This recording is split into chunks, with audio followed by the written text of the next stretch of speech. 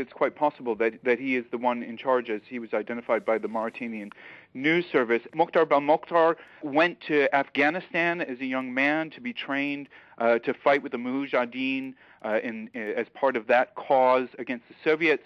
He comes back to his native Algeria and joins the armed Islamic group as part of the Algerian civil war. He goes on to found the Salafist group for preaching in combat and um, has been involved now in, in the insurgency in northern Mali. But there's two parallel insurgencies going on there. One, a very Salafist set of uh, political actors, and another, an ethnic group of, of Tuaregs who are trying to gain independence. Mokhtar Belmokhtar was claimed to have been killed by some of the Tuareg independence movements this summer, and so it's quite remarkable that he seems to have come back and now has led this operation.